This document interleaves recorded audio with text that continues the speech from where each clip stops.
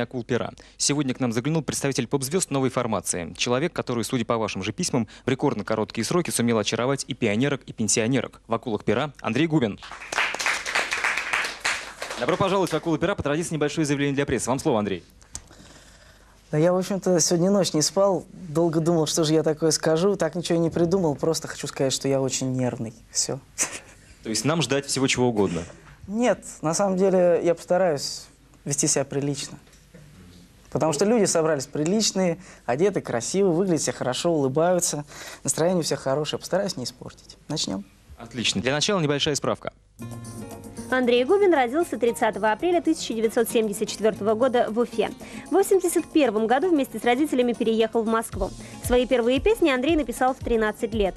В 1990 году поступил в Гнесинское училище, в котором проучился всего два года. Дебютный альбом Андрея Губина назывался «Аве Мария». Правда, он так и не был издан, как и следующий альбом под названием «Принц и принцесса». Второе рождение музыкант пережил с выходом альбома «Мальчик-бродяга». С тех пор карьера господина Губина идет исключительно в гору. В данный момент музыкант завершил работу над вторым альбомом, релиз которого запланирован на апрель. Андрей, как вам работает со звездой? Работает со звездой? Вот самый странный вопрос, который мне когда-либо задавали, ну, наверное, так и должно было произойти. Все-таки я на серьезной передаче. А, во-первых, наверное, все так говорят, но я не чувствую себя звездой. Какое-то дурацкое ощущение быть звездой. Это, знаете, а, да, хотелось очень быть звездой, на самом деле. Очень хотелось быть звездой, и мечталось об этом денно и ночно. Но как бы начались эфиры, когда стали крутить клипы Лиза, «Мальчик-бродяга», «Ночь», вот все только, только появилось. И я думаю, когда же, вот, ну когда, да, вот сейчас, вот сейчас, вот с утра проснусь, нифига, там, на следующий день думаю, ну вот проснусь, ничего подобного. И так это и не произошло. В общем, я думаю, может, я не звезда.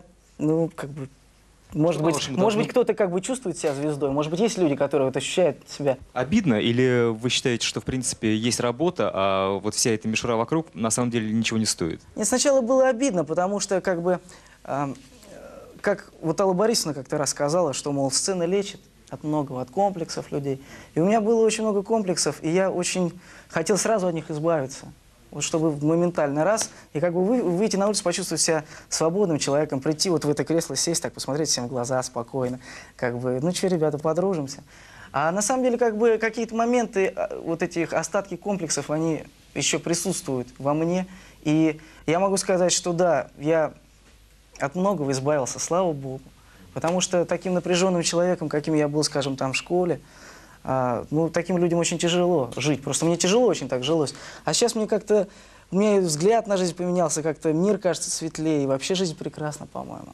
Прекрасно. У нас не так давно было три улицы еще в старом составе. Они говорили, что когда довольно быстро становишься, становишься известным, испытываешь массу психологических проблем. Меняется жизненный ритм, и вот все эти гастроли, много публики вокруг. И, в общем, чувствуешь себя иногда очень тяжело. То есть ты представляешь звездную жизнь совершенно одним образом, когда начинаешь только работать в му- музыкальной индустрии, а на самом деле она поворачивается совершенно по-другому. Дискомфорт какой-нибудь есть или исключительно чувство свободы, которое пришло после избавления от комплексов? А, ну, дело в том, что как бы моя карьера до сегодняшнего дня, она делилась на дво- делится для меня на два этапа. На три. Первый этап – это когда я просто писал песни, и никто об этом не знал. Потом был этап гастролей, когда действительно сталкиваешься с тем, что ты думаешь, ах, как все прекрасно и красиво. Там девчонки, автографы, цветочки, концерты.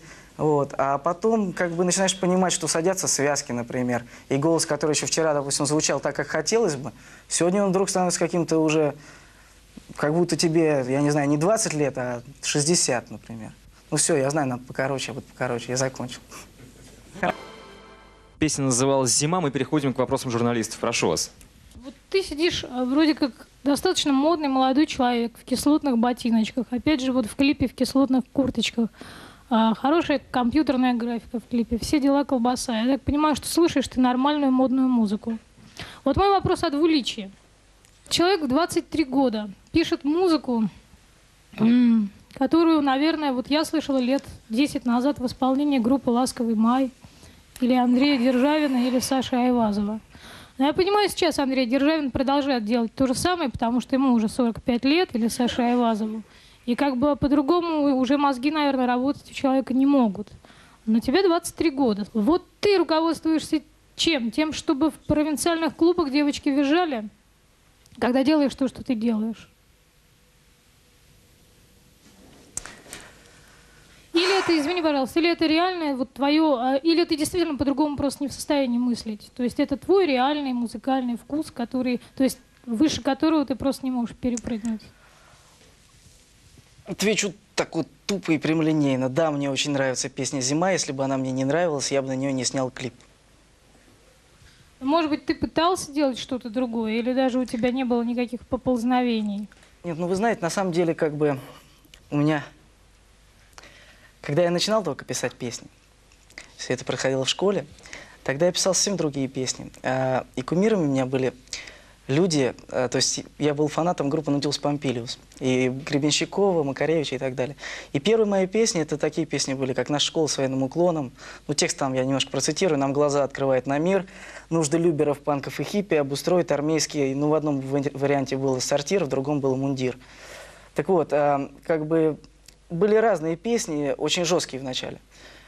Но затем, а, когда прошло время, прошло время, вот у нас мы в стране все разрушили, как бы. А вдруг оказалось, что лучше-то не стало, правда? И нужно этот мир на чем-то строить. А на чем его строить? Только на любви. Дело-то не в жесткости, ты же понимаешь, так нет, что я, любви я прошу прощения, я не договорил немножко. Спасибо. Так вот, а, когда я это понял, то не то, что я сразу стал писать другие песни. Нет, такого не произошло. Просто это, видимо, как-то подсознательно произошло, и песни изменились. Появились песни Лизы, там, и, ну, другие песни, все для тебя, например. А, почему-то мне вначале было неудобно. Неудобно показывать эти песни своим друзьям. Потому что мне казалось, ах, как стыдно, я вот писал настоящую музыку, а теперь я пишу типа ля-ля тополя. Но потом я понял, нифига. Вот эти песни это настоящее. Просто это настоящее для того времени, для того возраста, возраста, в котором я находился. Но это настоящее, это не придуманное, это идет из моего сердца. Другое дело, вы это можете принимать, не принимать, говорить, что да Губин не в состоянии думать по-другому. Не в состоянии, я думаю только так, как я хочу думать. Извините. Ты понимаешь, дело не в мысли, а в способе ее выражения. Можно ту же самую Лизу взять и записать э, так, что ее действительно будут Лиза, эта песня нормальные органи- люди. Лиза, эта песня вышла очень органичной. И поверьте мне, что как бы эта песня, она останется. Может быть, э, как бы единственная моя песня с первого альбома, которая останется. Большое спасибо. Предлагаю на Алексей Астудин, радиостанция Хит ФМ. Мне бы хотелось упрекнуть тебя в слишком беспечном отношении к такому понятию, как шоу-бизнес вообще в этой стране. Поясню свою смелую мысль. А, Дело в том, что, э, на мой взгляд, артисту, новому артисту на эстраде, а если мы э, вернемся в 96 год, ну, тогда действительно был первый альбом «Мальчик-бродяга», который все ждали, когда, который вышел, по-моему, если не ошибаюсь, в конце зимы, в начале весны 96 года. И после этого артисту, который вот только заявил о себе, начинает гастрольную деятельность, клипы, концерты и так далее, ему нужно э, максимально э, в короткие сроки подтвердить свой успех вторым альбомом. Э, твой альбом ждали все два года.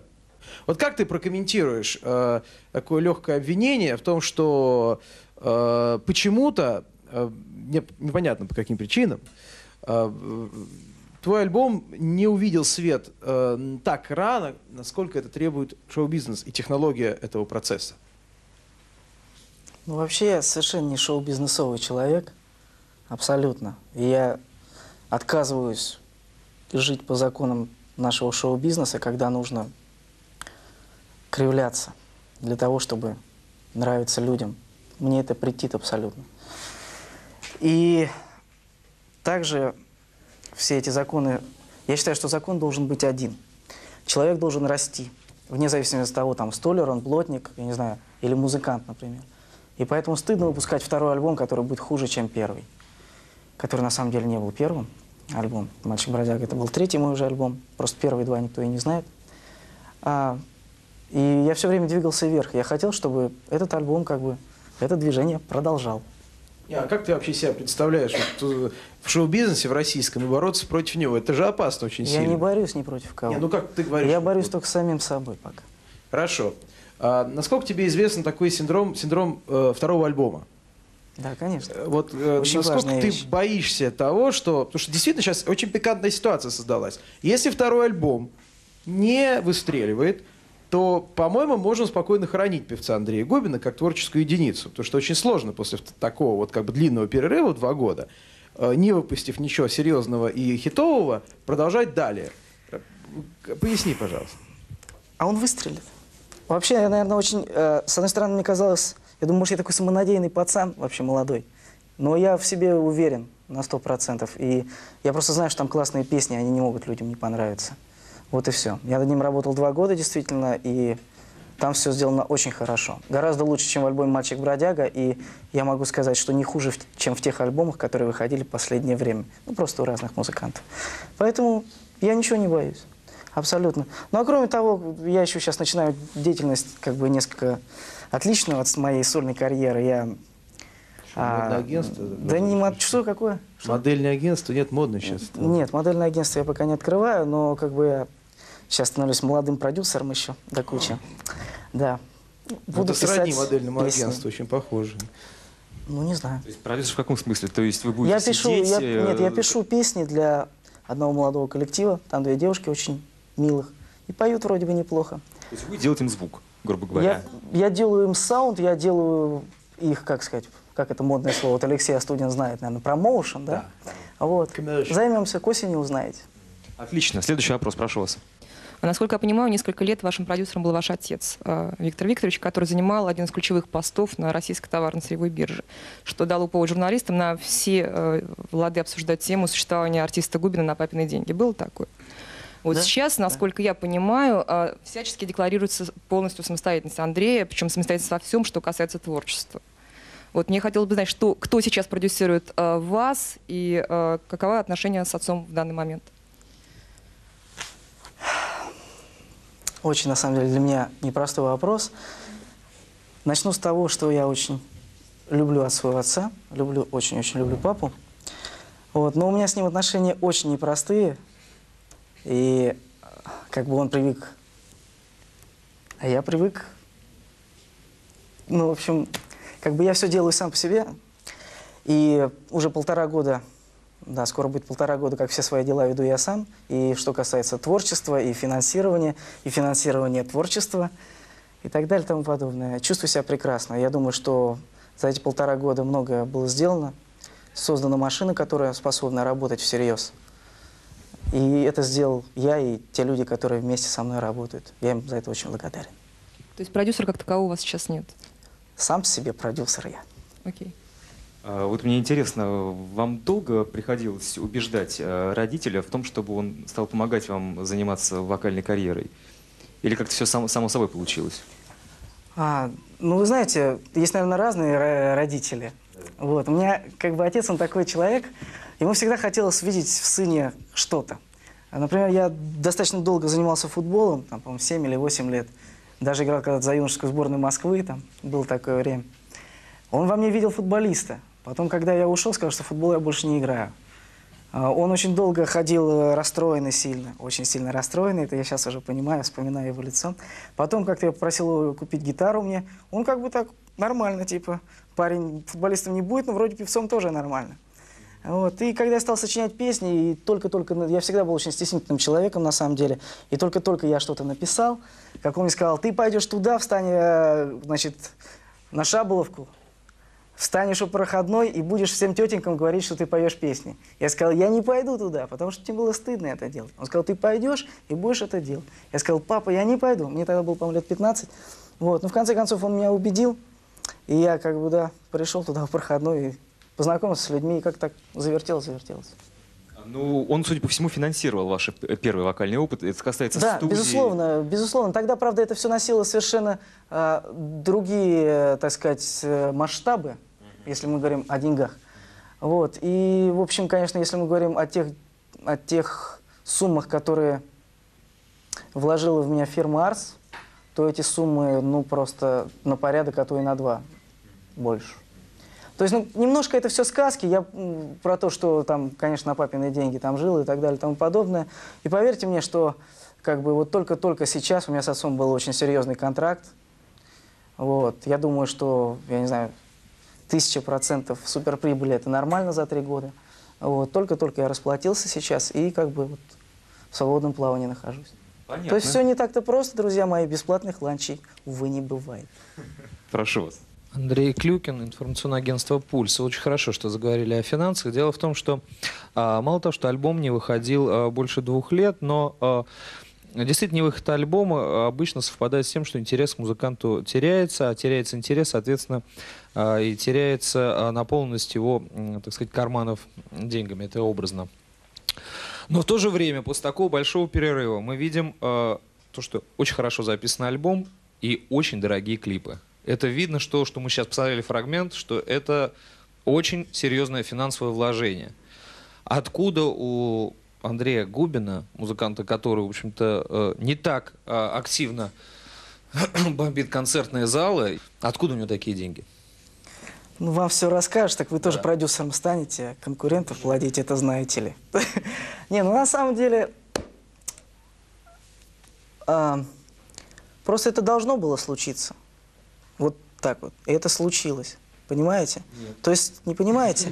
А я вам хочу сказать, что я всегда... Это 36 тысяч, по-моему, вот так вот на взгляд, э, так на взгляд, ну, ну 30-40, У может вас быть, все тысяч. так очень неплохо э, А, поставлен, долларов я мы так сейчас смотрю. посмотрели. Э, И так сказать, что это должно было случиться, что у меня будет 40 тысяч долларов на клип, это мне действительно непонятно. А мне понятно. Хорошо. Дело в том, что я могу пояснить. Я знал, что эти песни будут записаны, и я каждый, каждый месяц я просто рисковал. Будут ли завтра эти концерты, понимаете? Сегодня я не отдам денежки на эфиры, завтра этих концерт, концертов не будет, и мне не на что будет не то, что песенки писать, понимаете? Мне не на что будет просто жить, например. Вот. И я рисковал каждый месяц. И просто так получалось, что каждый месяц почему-то вдруг находились те несколько концертов, которые помогали мне записать эти песни, снять эти клипы и так далее и тому подобное. Тогда Но кроме того, друзья помогли, я этого не скрываю. развеять, э, очевидно, тот миф, который я услышал. А, Ответьте, пожалуйста, на вопрос, что это за девушка, которую мы сейчас видели в клипе, и все-таки связана ли она как-либо э, с теми финансовыми вложениями? Потому что, во всяком случае, до меня дошли слухи, что э, эта девушка, дочь довольно-таки серьезного финансового магната, и вот именно он за то, чтобы э, снять его чада в клипе популярного исполнителя Андрея Губина, отсыпал те самые, э, вот, ну, два клипа стало быть где-то 70 тысяч долларов. Эти несчастные 70 тысяч, да? Те несчастные денежки упали в карман Андрею Губину. А, значит, э, скрывать не буду. Я сказал, что отчасти это мои деньги, отчасти друзья помогли. Так, как я сказал. Значит, э, что касается девушки, то я могу сказать, что это очаровательнейшее совершенно создание, на мой взгляд. Я безумно рад от того, что я смог этой семье помочь. Потому что... э, А что вы так смеетесь, я- друзья мои? я- Вы слишком, вы слишком меркантильны, ребятушки. Вы слишком все меряете деньгами. А, Подождите, Не это вы надо нас этого увя- делать, в не надо этого делать. Снимает дочь большого финансового магната в своем клипе, а, вы говорите, что вы помогаете этой семье, а вот, а я так понимаю, все-таки деньги из той семьи в эту. И... Я объясню. Да, Я объясню. не- Дело в том, что для меня, например, для меня, например, в свое время а, было сложнее всего раскрыться. Понимаете? Раскрыться. У меня тогда было время безумных, э, бешеных денег. Вот, и ко мне пришел мой папа тогда, был такой период, не помню какой, вот год, когда вот э, перестройка, перестрелка как раз сменялась. И он сказал, Андрей, вот есть деньги на клипы, давай снимем там все дела. Я говорю, пап, не надо пока, не надо, боюсь я пока. И, э, понимаете, вот, э, не было человека, который мне тогда сказал, это нужно сделать так, это нужно сделать так, понимаете? Просто подсказать, там, взять за ручку, отвезти туда. Вот. И это я и называю раскрыться, потому что Аня, девушку зовут Аня, вот, э, я могу сказать, что сколько я в нее вложил тепла, души, я думаю, что это никакими деньгами не мерить, не измеряется. Хотя вы, может быть, склонны мерить это, вот, понимаете, все, на доллары. Но поверьте мне, эти вот зеленые бумажки, это все фигня на самом деле. Я просто уверен, что существует ряд других девушек, в которые тоже можно было э, вложить ваше духовное тепло э, без финансовой э, поддержки, там, не знаю, нефтяных компаний каких-то. Вот. Мне так так они, кажется. они снимались в моих прошлых клипах. Выяснили, прошу вас. Добрый день, Регина Мяник, Лисес. А, На самом деле путь духовного самосовершенствования для меня очевиден, но я считаю, что самовыражение этого духовного пути в песнях, он, э, в принципе, диссонирует. Э, Как вы сами э, считаете, на ваш взгляд, существует ли этот диссонанс? И второй вопрос. Я знаю, что у вас действительно очень тесные отношения и близкие с вашим папой. И то, что он на вас возлагал такие огромные надежды, у вас был просто культ Андрея Губина, то есть вас самого в семье. Насколько э, ваш э, папа доволен вашим творчеством, насколько он доволен вашей духовной жизнью, насколько он доволен вашим самосовершенствованием, или э, у вас здесь тоже большие проблемы? Нет, ну, у меня с отцом сейчас в данный момент очень тяжелые отношения. Опять-таки, я повторяю, что я его очень люблю, и я хотел бы всегда пойти ему навстречу во всем. Но, скажем так, а, поскольку есть семейное, а есть, увы, бизнес, понимаете? Я хочу, чтобы мои песни люди увидели. И, например, поэтому как бы этот второй альбом был продан на студию «Союз», а не на студию «Талант Рекордс» моему отцу. А первая часть вопроса по поводу... По поводу диссонанса? Да. а, ну, знаете, я не, не могу ничего сказать. Просто кому-то нравится песня, кому-то не нравится. Я все уже сказал, вот, Капитолине. Я, все, что я пишу, я пишу от души. Всего лишь. Хорошо, спасибо. Э, Так, мы посмотрим сейчас еще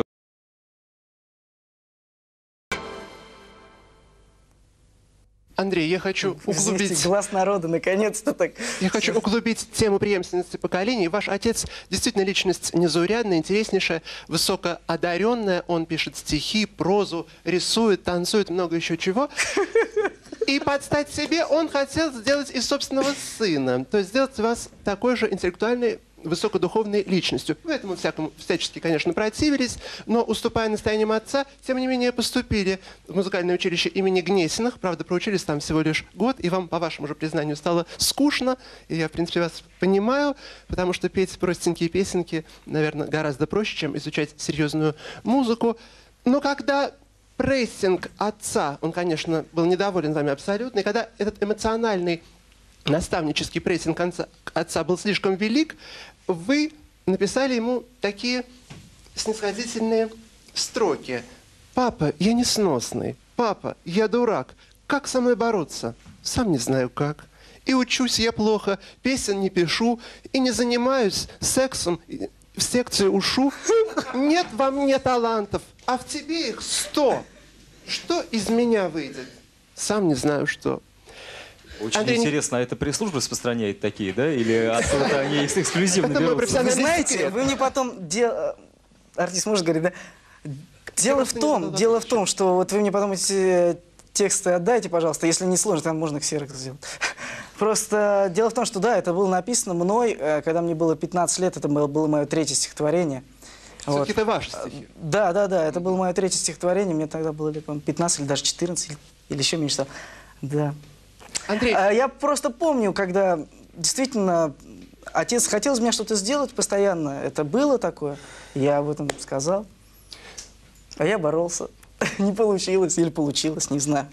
Андрей, не желаю вас обидеть, но не кажется ли вам, что все ваше творчество, вот это, есть некая попытка, уже совершенно отчаянная попытка хоть как-то соответствовать требованиям отца? Нет. Нет? Я музыкант. Если бы я а, соответствовал требованиям своего отца, я бы сейчас играл в команде «Спартак Москва». Ну или «Динамо Москва». Понимаете? Гонял бы мяч по футбольному полю. Спасибо. Спасибо. У нас, по-моему, продолжение темы небольшое. Нет, мне просто хочется дополнить вот к, к чему. Потому что, э, на мой взгляд, э, я тоже читал вот эти вот, э, и не только эти э, тексты, э, которые мне в свое время давал читать сам Виктор Викторович. Дело в том, что, на мой взгляд, вот, может быть, я испорченный, жесткий, э, черствый и ужасно лицемерный человек, но непонятно, э, мне совершенно не ясно. Это стремление к производству значимости персоны, с точки зрения э, там, ну, как- каких-то текстов, да, то есть там были же даже целые цитаты, какие-то цитаты, и под ними стояла подпись Андрей Губин. Э, целый сборник таких цитат был. Да, Это плани- эти цитаты мне не принадлежали, понимаете? Вот, вот, вот, вот, давай сейчас об этом как раз и поговорим. А, Мы были на гастролях 30 дней в месяц. Один день я был в Москве. Вот. За год мы были а, дома, а я и моя команда, мы были дома, ну, может быть, дней 12. А, в один из этих 12 дней я узнал, что должна выйти книга. И не о ком-нибудь, а об Андрее Губине всего лишь. Я сказал, помню поговорку известную, что яйца курицу не учат. Я пришел, сказал, папочка, давай не будем выпускать эту книгу. Давай выпустим ее лет через 25, когда я сделаю что-то серьезное. Он сказал, эта книга не о тебе, это книга о нашей семье. Все, я ответил на ваш вопрос. А Вот сейчас есть продолжение явно. Ну, я не Страна знаю, как не насчет готова. продолжения, но просто-напросто мне кажется, что, что у нас программа становится каким-то творческим вечером э, чудолюбивого папы Андрея Губина, на да, самом мне деле. тоже так кажется. А вот я хочу сказать, что а, никак, никакие мешки папиных денег и никакая безмерная отцовская любовь все равно не спасут человека от безголосия и попс-примитивизма. Вот был уже такой пример с замечательной девушкой Линдой, у которой тоже ходили слухи, что у него у папы э, большие мешки за плечами, которые ее должны были поднять до высот суперстар. Но до тех пор, пока она не встретила талантливого человека по имени Макс Фадеев, никакие мешки папины ей так и не помогли. Может быть, вся проблема заключается в том, что тебе стоит встретить какого-то человека, похожего на Макса Фадеева или какую-нибудь девушку дико продвинутую, которая тебя, э, тебе не мешки денег притащит, а просто-напросто даст что-то такое, что действительно сделает твою музыку нормальным, конкурентоспособным, модным продуктом.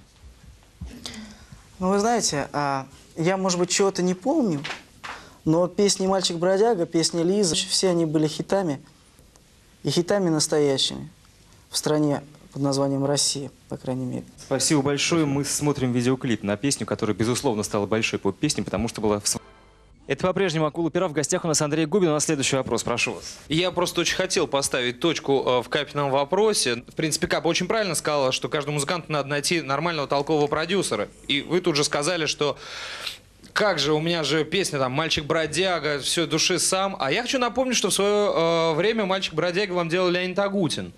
Вот, э, тот самый толковый, э, так сказать, деятель, и э, работу которого вы сейчас легко называете своей. Почему вы перестали работать с Агутиным? Он, в принципе, тогда был еще, конечно, неизвестным. И все-таки обращая взор назад и понимая, что это одна из самых удачных песен, не хотите ли вы, все-таки я еще более настойчиво э, говорю, все-таки попробовать э, работать вот с э, такими корифеями музыкальными, которые сейчас, э, в общем-то, их довольно много сейчас, наверное, в шоу-бизнесе. Я помню, когда мы записали песню «Мальчик-бродяга», вы правильно сказали, Леня еще не был известен никому. Ну, так, широко не был известен. И я видел его грустные глаза, когда он вдруг понял, что он там за несчастные тогда, помню, что-то с 200 долларов, что ли, он продал свою фишку, понимаете? И он как бы сделал это, посмотрел, что получилось-то хорошо. И он смотрит, думает, как, это же вот человек просто пришел, ну как бы вот ко мне с улицы обратился, я ему сделал, и получился как бы второй Агутин такой, маленький такой, молоденький. И я даже могу сказать, что я рад, что у него у первого получилось, что он первый нашел деньги на рекламную кампанию. И это его фишка. И слава богу, что его с ней увидели. И не говорю, было бы по-дурацки, если бы говорили, если бы я первый, как говорится, раскрутился, да, если бы меня первые узнали с этой песней и говорили бы, да, Агутин это повторение Губина. Это глупо было бы. Вот. Спасибо. А что касается песни Лизы и песни «Ночь», это совершенно не Ленина. Я не думаю, что он бы так сделал, например. Просто он по-другому видит музыку, я по-своему. А, Максим Резник, Риф ТВ. Я вот сижу, и а, вы мне очень нравитесь. А, и песни, в принципе, тоже достаточно всегда были приятны, скажем так. Вот. И, но у меня звучит постоянно а, другая песня, не, не Губина. А, Песня с такими словами «потому что нельзя, потому что нельзя, потому что нельзя быть на свете красивой такой». Вот. А я не знаю, как бы вот как девушки, но я думаю, что многим молодым людям а, вы очень симпатичны и а, совершенно искренне, совершенно искренне. Вот. а, Но тем не менее, вот э, образ такого обаятельного, немножко смазливого, можно сказать даже, мальчика фактически, он самому как бы, самому э, не, ну, не надоел, не хочется изменить, стать мачо. Вот даже Сташевский даже, мне кажется, он пытается как-то вот все более и более, да, вот мужественно вот так выходить. Есть такое желание? я уже сказал, что я не люблю кривляться, понимаете? Какой я есть, такой я есть. Ну, если вас интересует, мальчик я или нет, ну, не мальчик я, да. Вот, как бы, ну, В чем это выражается? То есть не, то- не только... в том, в том, как я веду свои дела, например, понимаете? А если, ну, Господь мне дал такую внешность, понимаете? Ну, мама у меня очень красивая, как бы в маму я пошел. Ну, ну понимаете, ну, ну что ж поделаешь, давайте я пойду сейчас это, пластические операции делать, там молотком по лбу стучать там и так далее. Понимаете, мне на самом деле, меня самого ужасно ломает моя внешность. Я знаю, там, мне девочки пишут, там, Андрей, у тебя такие глазки, там, то все. Я думаю, елки-палки, понимаете? Потому что меня ломает моя внешность. Мне она не нравится очень сильно. Потому что у меня большой э, диссонанс. У меня большой диссонанс. Да я знаю, что такое диссонанс, я музыкой занимался. Так вот, между моим внутренним миром и моим внешним обликом. Понимаете? Шерил Кроу, по-моему, сказал, что если бы Да, Слава- вчера мне сказала что-то. Хорошо, Нет, что не мне. Ну ладно. Что если бы Слава на нее свалилась года в 24, то это просто она была бы счастлива от этого. Но когда это произошло значительно позже, то счастья особого такого вот восторга не было от этого. А ты говорил, что ты хотел всегда стать, прославиться, правильно? Я понимаю. На самом деле... э, Что будет, я- если... Можно я Да, конечно. закончу чуть-чуть? Осталось. Если э, годам к 30 или чуть постарше тебя вот это совсем не будет прикалывать. Я хотел, чтобы... Ну, как сказать? Я хотел выразиться, понимаете, прежде всего. На самом деле это было а, самое главное. Я хотел, чтобы меня услышали, потому что я не знаю, как у вас, например, проходила там школьная там пора и так далее. У меня все это проходило довольно печально. Я, во-первых, часто менял школу, из-за этого у меня не было друзей и так далее. Ну, как бы не будем... И я сидел постоянно у себя а, в комнате, когда другие там гуляли, и я смотрел на это из окна, играл на пианино, сочинял песни, понимаете? Вот у меня была, ну, как бы, вот школьная пора такая. И прежде всего хотел выразиться. Ну, конечно, я думал, что классно, классно там все это, вот эти свет прожекторов, там интервью и так далее и тому подобное. И я, понимаете, мечтал, мечтал оказаться, например, на программе «Акула пера», вот здесь вот сидеть там, разглагольствовать на разные темы, понимаете, вот. э.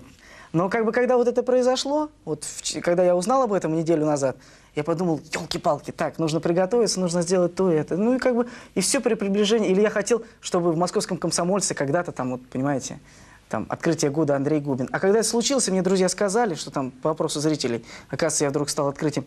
Для меня это было, ну да, открытием, ладно, поехали в следующий город на гастроль. Вот так. да. Такая рутина, наверное, раздражает немножко, да? Что? Такая рутина раздражает, наверное, немножко. Не раздражает рутина-то. Рутина-то бог с ней. Просто обидно, что то, к чему ты стремился, вот эти вот, ты себе на дистанции ставишь флажки, вот, думаешь, вот туда прибегу, там классно, точно, ребята, там классно. Прибегаю, смотрю, нормально. Так, видим цель следующую. Спасибо, я предлагаю посмотреть. На самом деле я удивлен, потому что любимая тема этой аудитории, в принципе, а, одна из любимых тем, это отношения с так называемой голубой тусовкой. Вот тут есть люди, которые задают эти вопросы через раз. Э, Я удивляюсь, э, почему эти вопросы не задаются тебе, потому что понятно, что с твоими данными наверняка так или иначе Максим, как вы впечатлились-то, прям... Ну, я, я как бы делаю определенные шаги, как вы видите, в этом направлении. А, так или иначе ты сталкивался. Мне интересно, а, действительно ли а, создается вот такое впечатление, что а, это сила, которая решает судьбы? Вот в твоем случае это сыграло роль? Вот, э, в принципе, да. Если бы, наверное, я как бы был «да», то меня бы узнали лет в 16, например, понимаете? А не в 22, когда просто, ну, горбом, понимаете, все это было горбом. Да, а что касается отношений, вот честно, хочу честно сказать, первый раз рассказываю. Мне даже вот интересно, потому что все говорят, типа, да, у вас такая сладкая внешность и так далее и тому подобное. Ну вот, грубо говоря, там, ну идем Кока-Колу там с музыкантами покупать, да? И вот пристают ко всем кому угодно, только не ко мне, понимаете? Вот я даже думаю, нифига себе, типа это, а во всех говорят, а ко мне, не- то есть ни разу никто в глаза мне не предложил там ну, особь мужского пола, что, мол, Андрюха, давай пойдем. Ну я, то есть, я опять-таки, я, может, кого-то расстрою, я гетеросексуал, причем очень злой натурал, я очень-очень злой. И, э, то есть, может, кого-то это разочарует в артисте Андрея Губине, но, тем не менее, это так, кривляться не умею. Нет, все в порядке, спасибо за Да? ответ. Так что шаги свои можете. Шаг вперед, два шага назад. Захотелось задать еще один вопрос. Фрейд говорил не мне вообще. Э, Что посмотрите, как он ведет себя в постели, вы можете сказать, э, как он ведет себя в жизни вообще, в другой. Так. Согласны ли Ну-ну. вы с этим утверждением? Нет. Человек может быть в постели супер, а в жизни очень закомплексо- закомплексованный человек. Такое часто бывает. Не о потенции как бы речь Нет, идет. а я, я понимаю, что речь идет не о потенции. Понимаете, я говорю просто о, о тепле. Большое всем спасибо, очнили. По-моему, был у вас такой один вопрос. Ну и, ну и что я здесь делаю, зачем я согласился? Как все это печально выглядит? Я прав или показалось мне? Нет, все было классно. Единственное, что, вот я расстроился, я честно скажу, что я как-то ожидал, что будет вообще ураган. А получилось так, ну, чуть-чуть. Ну, А, балла вы- три. Дело в том, что я думаю, может быть, просто я уже закалился как-то, потому что столько всякого было съедено и за спиной, в общем, на самом деле, что я уж, может, ничего не боюсь просто. Ну это сейчас вы бравируете. Несколько раз вам было очень так неприятно, по-моему, если честно, потому что народ-то сердитый, что греха таить. Не, нормальные ребята вообще. У меня музыканты не такое устраивают. В общем, да. Значит, закалка, она дает знать свое. Да, спасибо пацанам. Вам можно только позавидовать. Надеюсь, что время вы потеряли не напрасно, получили некоторые положительные, а может быть отрицательные эмоции, которые в сочетании всегда э, хорошо, чем плохо. Большое спасибо, спасибо, Ну, спасибо, что пришли. Приятного.